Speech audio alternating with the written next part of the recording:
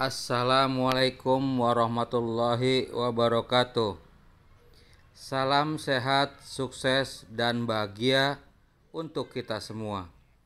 Bersama As Channel Nyendok, saya kembali berbagi informasi yang cukup penting, yaitu tutorial cepat transfer file melalui ShareIt. Di sini saya siapkan dua buah Android agar tutorial ini mudah dipahami. Dan pastikan di dalam dua perangkat itu sudah di-download aplikasi ShareIt dan pastikan sudah dinyalakan Bluetoothnya. Baiklah, kita mulai saja tutorialnya. Namun, sebelum itu tekan tombol like dan subscribe lonceng agar channel ini terus maju dan berkembang. Baiklah, kita siapkan dua buah Android yang sudah posisi nyala dan nyalakan kedua share it-nya. Kemudian izinkan pada keinginan share it tersebut. Pada it pertama, tekan tombol kirim. Sedangkan Android kedua tekan tombol terima. Setelah itu, tentukan video mana yang akan ditransfer ke Android berikutnya. Izinkan. Setelah itu kita tekan dan pada Android kedua mencari dan menemukan data tersebut klik terima. Setelah itu, dia akan berputar mencari file yang telah dikirimkan.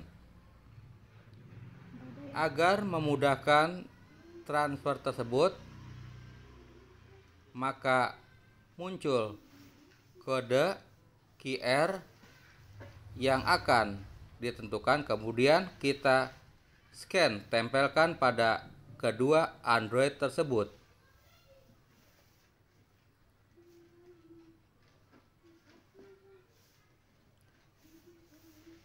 Dan proses transfer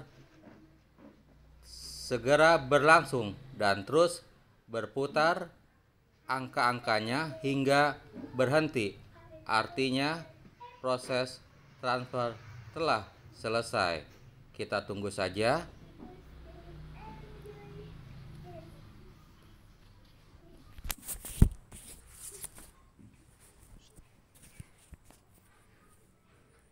Iya, proses transfer telah berhasil dari Android 1 ke Android kedua.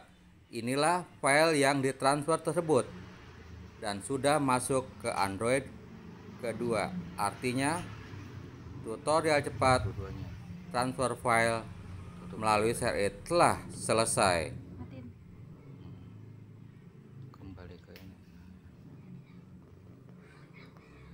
Cukup mudah bukan? tutorial tersebut. Demikian tutorial cepat transfer file melalui ShareIt. Terkadang kita membutuhkan data cepat, tetapi data tersebut tidak ada dalam Android yang diinginkan. Maka kita butuh transfer file melalui ShareIt. Semoga informasi ini ada manfaatnya untuk kita semua. Dan salam sukses untuk kita semua. Terima kasih. Wassalamualaikum warahmatullahi wabarakatuh.